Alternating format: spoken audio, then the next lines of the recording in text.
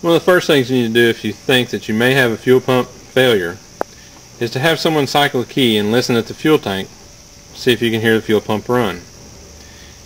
If you cannot hear the fuel pump run, then you need to locate the fuse and the relay and refer to the owner's manual to determine their location. This particular vehicle, they're located under the hood in this power distribution box.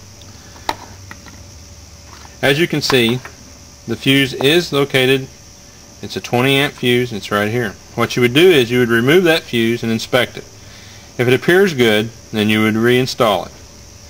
Also, we have the fuel pump relay, which is located here.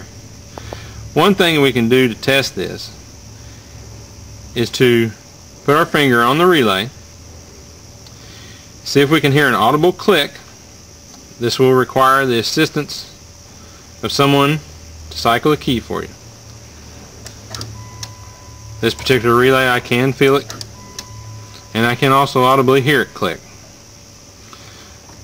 So at that point we would feel that we should have power going to the fuel pump.